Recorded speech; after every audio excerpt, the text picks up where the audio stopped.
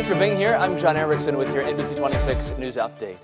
Well, Bucks fans are excited for a new season and all that comes with it. A fresh start for a potential championship repeat after last season's title.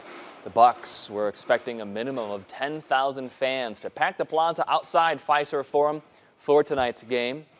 And this new season is also the first time the team has sold out of full season tickets ever. I'm excited about them getting their rings, and I'm excited about just being at the game.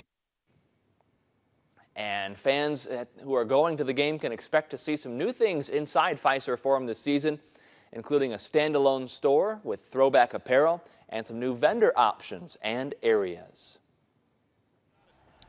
And with the crowds at the Bucks games, could say largely thanks to two-time MVP Giannis Antetokounmpo, a Greek journalist who's been covering Giannis since he came to Milwaukee says the city is a place Greeks hope to visit and see Giannis, the superstar, play.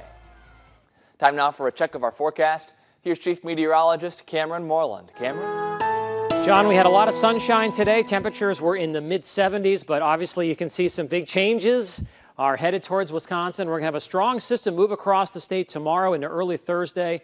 On and off, scattered showers and thunderstorms tomorrow, wrapping up to some showers Thursday morning. Temperatures tomorrow much cooler, mid 50s north, mid 60s south, but falling during the afternoon as gusty northeast winds kick in. Highs only in the lower to mid 50s on Thursday. Some sunshine by the afternoon with gusty northwest winds, and then quite cool here for Friday, Saturday, and Sunday.